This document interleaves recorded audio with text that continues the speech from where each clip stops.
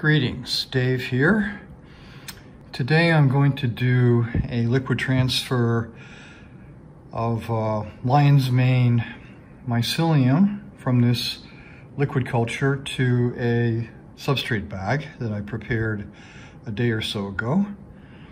And you can see the clump of mycelium in the bottle and I'm going to take it out and give it a stir to break up the mycelium before um, pulling it up uh, in, in the syringe. There's a magnetic stir bar in the bottle that I put in there before I actually closed up the jar before sterilization. So it's been sterilized along with the uh, fluid and it's just convenient. I can turn on the stirrer and the uh, mycelium will break up.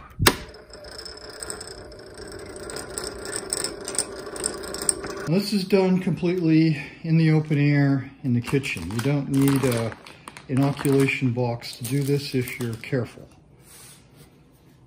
I have the sanitizer solution.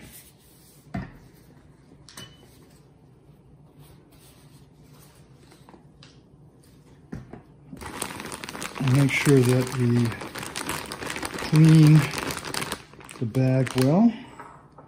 I have the inoculant. Open the bag.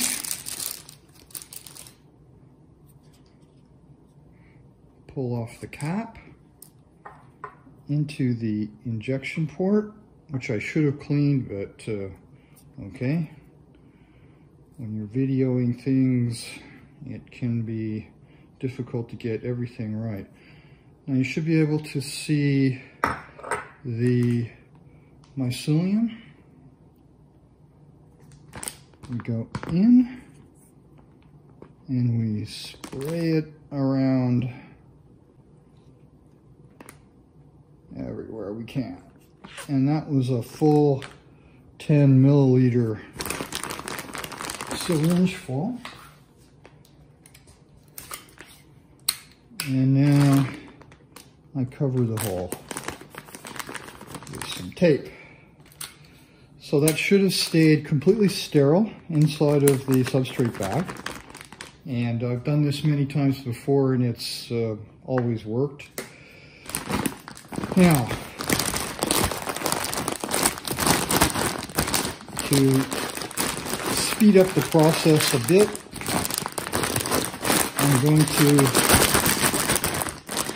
mix that as much as I can. It's a bit difficult to mix, as you might imagine, but it's not really so important.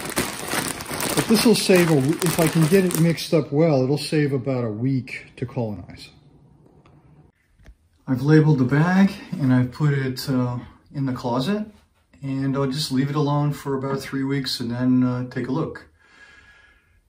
If you like these videos, or even if you don't, uh, leave me a comment. I'd love to hear from you. Thanks.